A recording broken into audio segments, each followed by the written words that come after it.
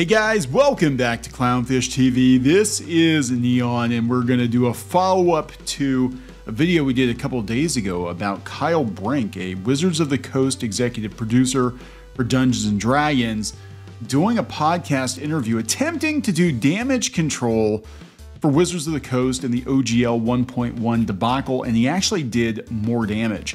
In fact, the backlash has been pretty severe, not just because of his comments saying that uh, white men can't leave the hobby soon enough, which could be taken a number of different ways, right? If you watch the complete context of the video, but also some of the stuff he said about the inner workings of Wizards that they really just don't seem to care about the fans all that much. And the right hand doesn't know what the left hand is doing. And really, this is all about just corporate posturing. I guess they were just trying to keep D&D away from uh, big tech players they claim, but they did not care about their fan base at all.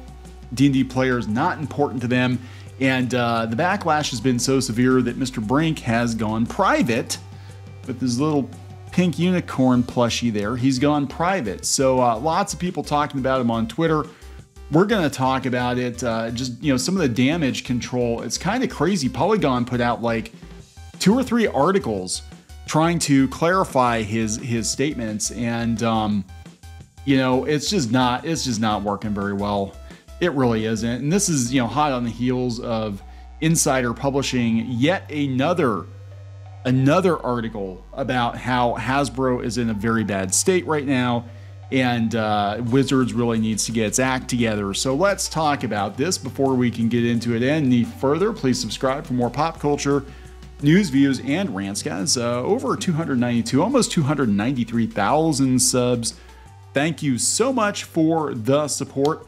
Um, we've been covering uh, tabletop gaming a lot more lately because Wizards of the Coast just keeps rolling a one, right? Uh, they had the debacle with the OGL where uh, it was leaked that they were effectively going to commandeer your fan creations if you sign the new version of the OGL and then they quasi kind of apologized for it, kind of walked it back a little bit, but the damage has been done. In fact, we mentioned in the previous video that uh, other game systems are seeing sales go through the roof. Uh, you know, some game publishers are selling eight times what they usually sell because of uh, Wizards of the Coast screwing up again and again and again. In this interview, uh, on this podcast, and well, you know, no offense to the the podcasters, but it's not a huge channel, right? Um, but the interview actually didn't do them any favors, and at this point, I think Wizards really needs to just shut up.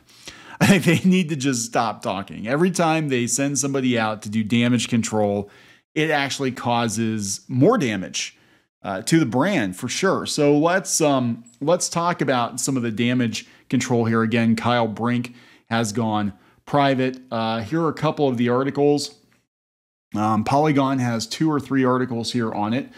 Uh, again, they had to pick apart multiple things he said. They talk about racism in D&D, specifically Spelljammer, and the Hadozee, which are the uh, flying space monkeys that uh, apparently are the new demon of the week. And uh, you know, some stuff he says, you know, seems to indicate to me that D&D is never going to be the same because they don't have a lot of respect for the history of the game at all. And look, there are some things that obviously they did back in the 70s and 80s that probably wouldn't fly you know, these days, like those monkeys, the flying monkeys. But um, you know, to to basically demonize the entire game and the players and the old school players. And we saw we saw this. We saw this disgusting hit piece come out from PBS. I think it was PBS.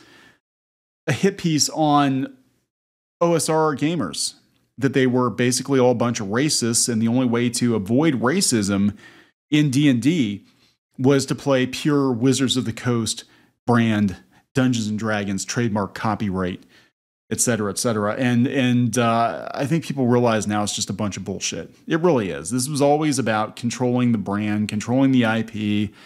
Um, you know, and it does come across in that interview that fans were like the very last thing they thought about. They were concerned about, you know, like Facebook and Apple and, you know, Netflix and all these tech companies kind of horning in on D and D, and uh, they basically just you know stuck it to the fans, right? Uh, that that was one of my takeaways. But um, yeah, so let's look at this. This is uh, Polygon.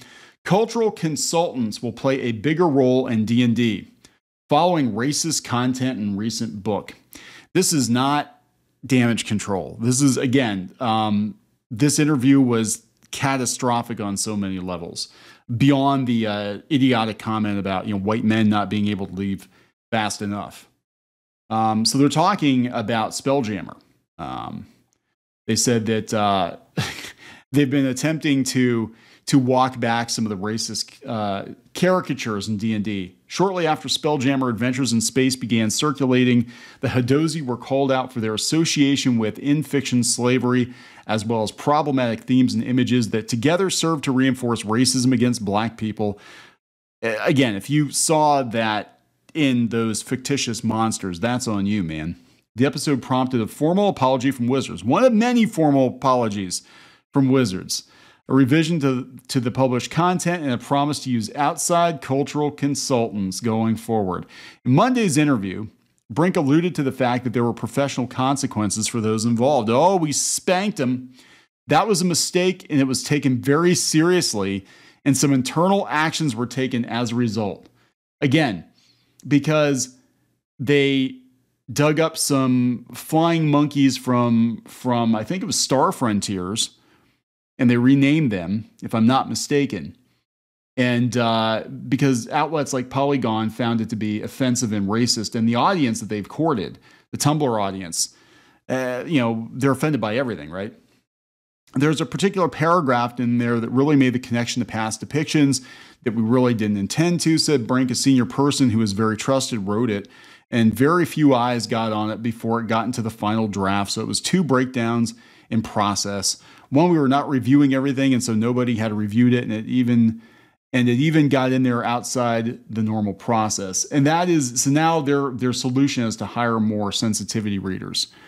So this is this is what um, bothered me about that. I, I think the sensitivity reader stuff is bullshit. I really do. I mean, I, I, and I've said it before. It's like, look, you're not going to make everybody happy. I mean, as long as you're not out there deliberately uh, trying to provoke people, you know, people f up or people misread your intentions or whatever. That's you know, it happens, right? But to hire a professional sensitivity reader, they're literally looking for things to be offended about and they're going to call attention to things. I, have wondered how mu- much of this outrage is actually being drummed up by sensitivity readers to make sure they're still employed, you know, because people are getting tired of it. But this is what bothered me. D&D has a long history. It's got a long and deep lore that goes back to some pretty troubling stuff. Hmm. It's got a long and deep lore that goes back to some pretty troubling stuff. Again, this sounds a lot like the satanic panic of the early 1980s that tried to, to shut down D&D and try to paint D&D and D&D players as being bad people, just like that PBS article that tried to paint uh, OSR players as being bad. So we're in a place where we want to acknowledge and bring forward some of the cool nostalgia, but also fix the broken stuff. Fix the stuff that was wrong about it in that space. It's very possible for somebody meaning well to make what they think is a nostalgic callback that actually dredges up with that hook a whole big wad of terrible stuff that we did not want in there in the first place. So while I can understand how the mistake was made, that does not mean the mistake was forgiven. It does not mean the mistake was not acted on. So yeah, we took it very serious. It's not something that can happen again with the current structure. It can't happen again because we're going to hire more sensitivity readers. Okay, good luck with that. Good luck with that. I mean, what is it going to take for more people to just ditch this game? Like, they are neutering the hell out of this game. They're chasing their players off. They're calling their players racist. They're telling you if you're a white dude, you can't get gone fast enough. And now they're like, we're going to even double, triple down on it. This is not damage control. This is ridiculous. Uh, here's a whole nother article. Uh, D&D exec, OGL fiasco worsened by lack of respect for Wizards of the Coast. Um, they said that there needed to be there needed to be uh, more of a, a, a, relationship between Wizards and Hasbro. I was trying to protect the team from distractions, said Brink, like discussing a licensing agreement so we can make the game, so we can make cool supplements and books. And I should have had more of my team in the room. And that's been corrected going forward about the OGL, right? Um, so they had to they had to release this uh, unsigned statement, right? Following o- IO9's initial leak of a draft of the proposed OGL changes on January 5th, neither Wizards nor Hasbro provided an immediate response. Now, they went radio silent for like a week. When one was delivered on January 13th, many saw it as a petulant half measure and little more. The unsigned statement delivered on D&D Beyond read in part as follows. A couple of last thoughts. First, we won't be able to release the OGL today because we need to make sure we get it right, but it's coming. Second, you're going to hear people say that they won and we lost because making your voices heard forced us to change our plans. Those people will only be half right. They won, and so did we. Everybody's a winner. We're all winners, according to the sensitivity readers.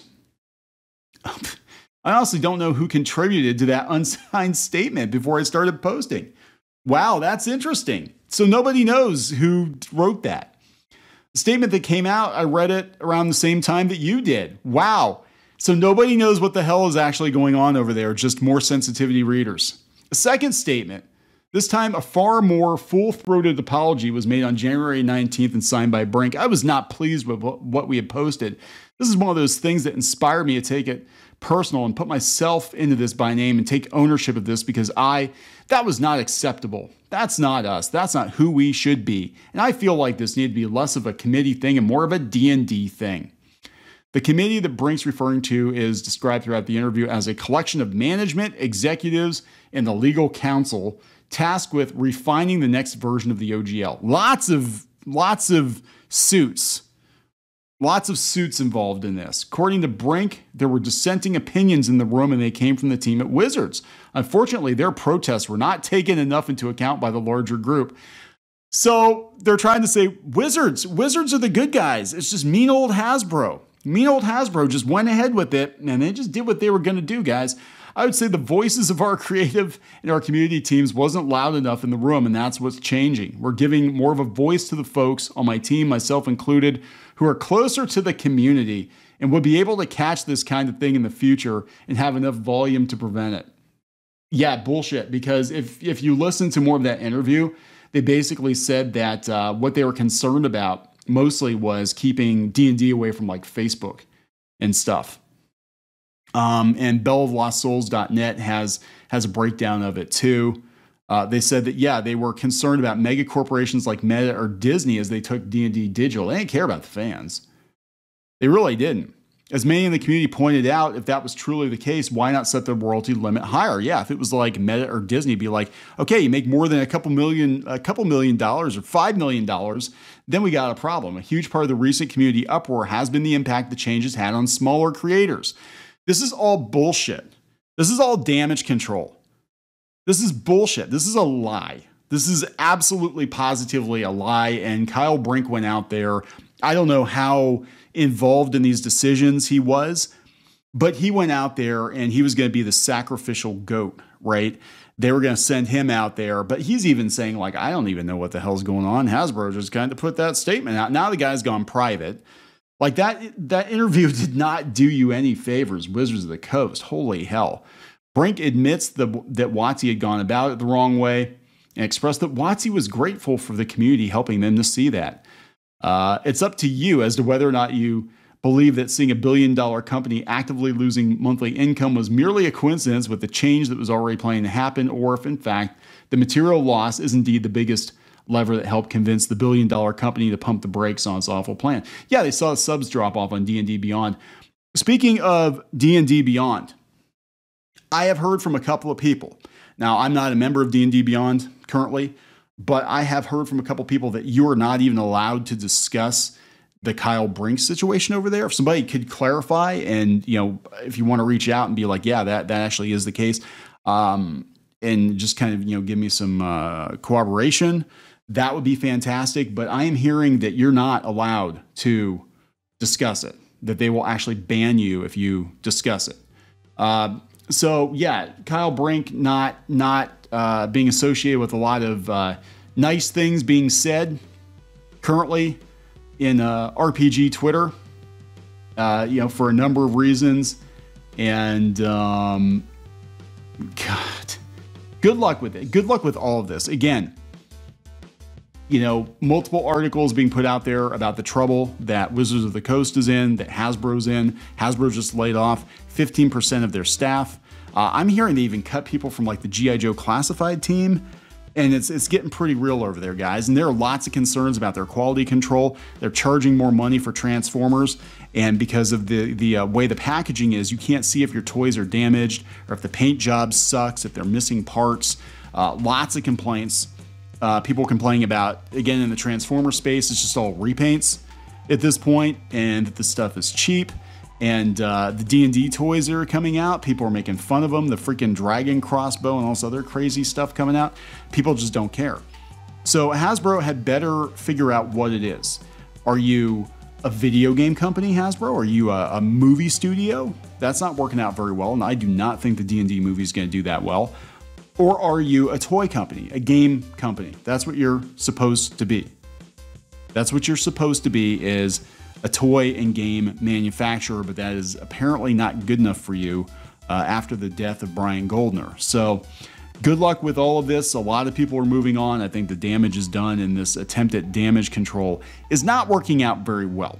I'm to wrap it up. Please subscribe for more pop culture news, views, and rants, and we'll talk later.